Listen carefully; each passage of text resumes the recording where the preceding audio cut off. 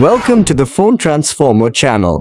In today's video, we'll show you how to turn off Improve Messages mode on Android, step by step.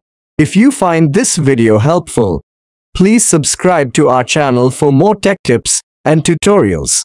Let's get started. Step 1. First, pick up your Android phone and open the Google Messages app. You can usually find this app on your home screen or in the app drawer. Step 2. Next, look for your profile icon at the top right corner of the screen and tap on it. Step 3.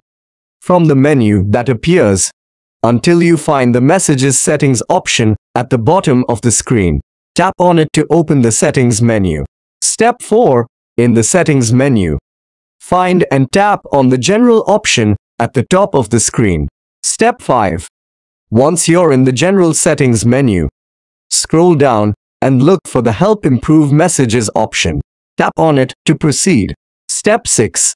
In the menu, you will see the Improve Messages option enabled on the screen. Step 7. Finally, tap on the Improve Messages option to turn it off.